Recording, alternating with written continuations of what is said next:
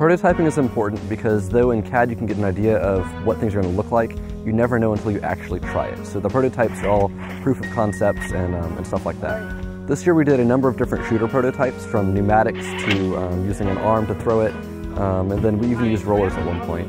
Um, and we did collecting as well, so we did different versions of collectors with different wheels to try to see what the best type for that is. And we did one with the surgical tubing, and that worked really, really well, but the concept behind pulling that back and retracting it to have a consistent shot is just uh, a lot more effort and not very simple to do.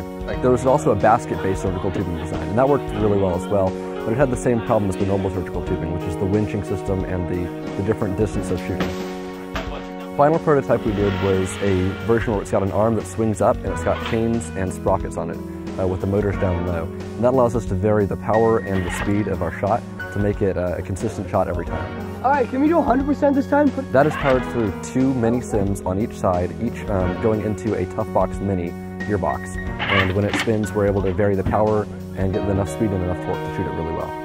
We went with that design because it was a very powerful and effective shooter, but was also able to vary the power each time. So if we need to shoot really far, we can do that, or if we want to shoot shorter, we can shoot shorter as well. The simplistic design is needed because when you've got a lot of moving parts, there's a lot more that can go wrong.